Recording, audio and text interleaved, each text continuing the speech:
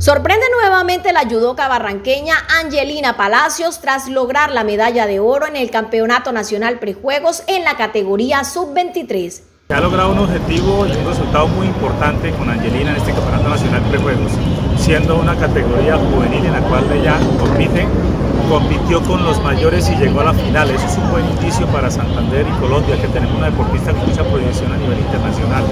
El año entrante 2023 es un año de muchas competencias de muy buenos niveles, empezando por los Juegos Deportivos Nacionales en el eje cafetero y también tenemos objetivos con Angelina a nivel panamericano y en especial en el Campeonato Mundial de Zagreb, Croacia, en el mes de agosto. Por eso el año 2023 necesitamos el compromiso de todos. Esta joven ya tuvo la templanza de enfrentar a la categoría mayores. Con sus habilidades y fuerza en los entrenamientos, logró el resultado que hoy enaltece a la bella hija del sol en estas justas deportivas. Las competencias se realizaron en la ciudad de Bogotá en el marco de los Juegos Nacionales de esta disciplina.